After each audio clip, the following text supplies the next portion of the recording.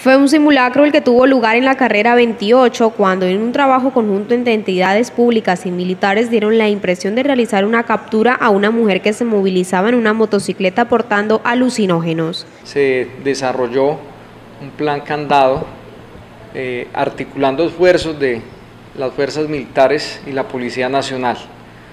Un ejercicio pues muy productivo donde se envió una información sobre una motocicleta sospechosa, eh, la cual fue ubicada en el perímetro del municipio, realizando actividades dirigidas a la verificación de posibles explosivos cargados en esta motocicleta. Según se explicó en Enlace Noticias, este simulacro obedeció a una tarea que se trazó desde el Consejo de Seguridad realizado en la mañana de este jueves en la sala de juntas de la alcaldía. Las fuerzas militares y la Policía Nacional Estamos comprometidos con la seguridad urbana y rural, siguiendo los lineamientos de Presidencia y del Ministerio de Defensa.